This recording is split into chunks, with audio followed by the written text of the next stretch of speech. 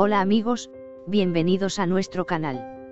No olvides suscribirte a nuestro canal, activar las notificaciones, comentar y hacer clic en el botón me gusta para apoyarnos. Estamos aquí con una nueva noticia. La madre de Alil Brahim Zeyan no quiere a Turkolu como su novia. Aquí están los detalles. Ulia dijo que no quiere una novia tatuada. ¿De dónde vienen estos rumores? No olvides ver nuestro vídeo hasta el final para obtener información sobre el tema. Sila y Alil, a quienes conocemos con la serie Emanet, fueron amados por todos. Porque son muy armoniosos y sus energías se reflejan muy bien en la pantalla para los fanáticos.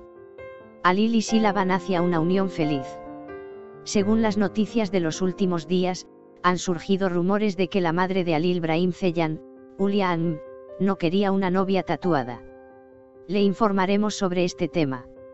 Las familias, Esla Turkolu y Alil Brahim Zeyan, se llevan muy bien entre sí.